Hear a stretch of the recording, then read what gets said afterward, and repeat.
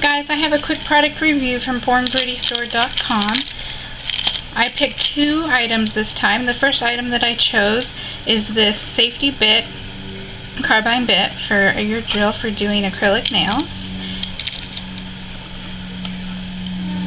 And the second item I picked is this bracelet here.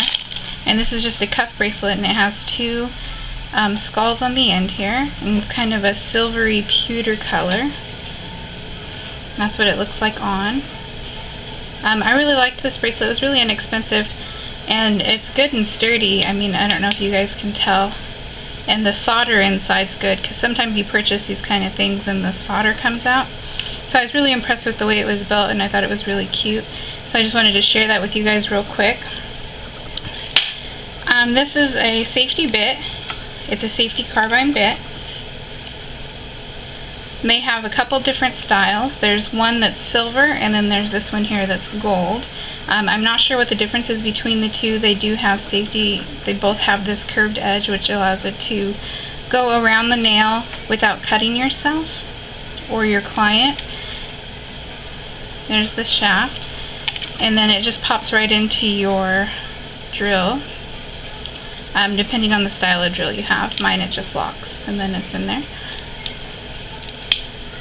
and then out again. I'm going to go ahead and show you guys um, how I use it.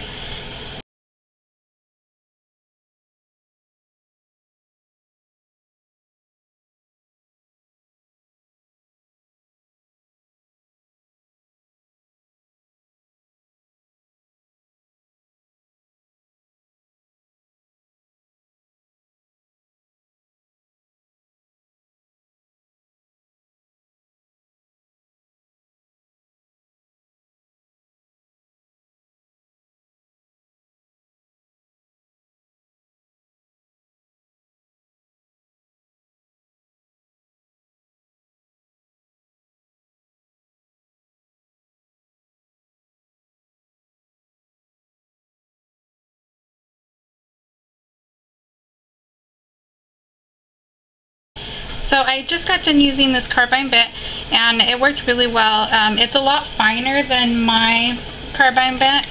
I'll show you that here just to give you an idea. So this one here is a coarse carbine bit and this one here is more fine which is nice because you have less of a less of a chance of cutting yourself with this one than mine and then the curved edge made it really easy to get right in there along the edge which you have seen in the video.